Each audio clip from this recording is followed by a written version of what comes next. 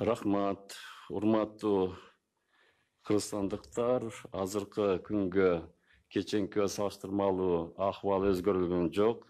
Элүү сегиз инфицированный жаран ошол бойдон калган баардыгы ооруканаларга жайгаштырылган.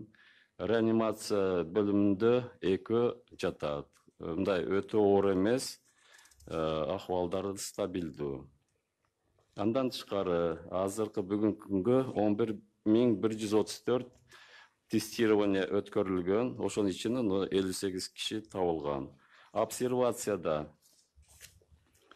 төрт миң сегиз жүз сексен алты киши бар күндөн күнгө алардын саны кыскарылып келатат андан тышкары үйдүк жанагындай оболонуу эмеде акыбалда азыр үч миң үч жүз отуз сегиз киши жайгашкан.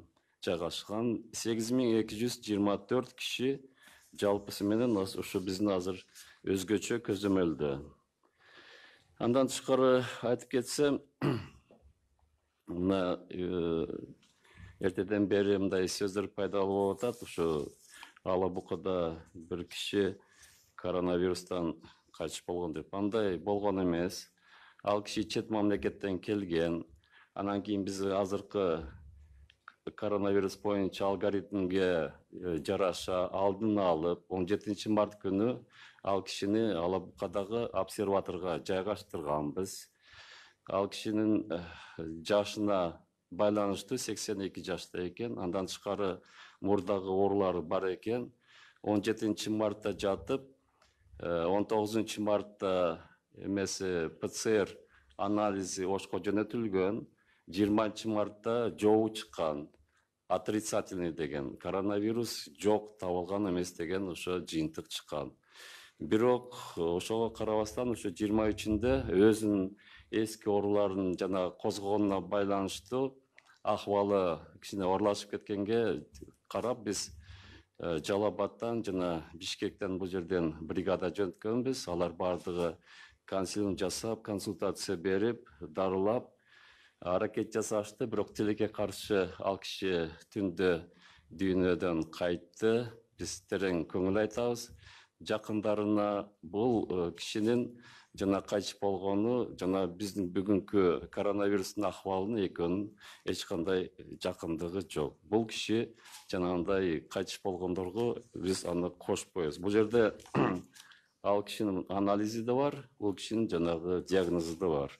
Диагнозу эми пневмония кардиосклероз кан басымдыгы да көтөр жогорку деңгээлде экен ошо баарына бул жерде расмий түрдө бизде маалымат бар андан тышкары айтып кетсем жанагындай биздин медицина кызматкерлерине жанагындай костюмдарды халаттарды маскаларды жана көп нерсе болуп атат жетишпейт андай эмес күнүгө жаңы ар кайсы булактардан ошо костюмдар келип атат биз баардыгын бөлүштүрүп атабыз биринчи ирет бишкек шаарына жалал абад жана ош областтарына азыр берип атабыз андан тышкары мына тест системалары боюнча да көп сөздөр пайда болуп атат күндөн күнгө кандай акыбал дептир бизде бүгүнкү күндө жетиштүү экспресс анализдер баардыгында бар пцр боюнча да бар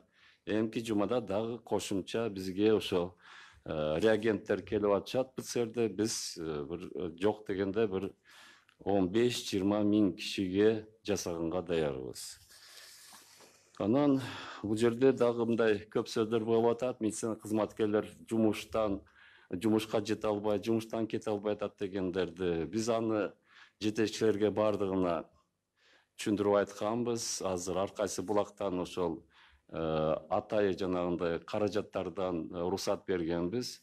Мисалы улуттук госпиталь кечээ күнгө тогуз микроавтобус жалдап туруп алар жыйырма төрт саат иштеп пропускалардын баарын биз жардам бердик иштеп жатат баардык мекемелерде ошондой болуш керек.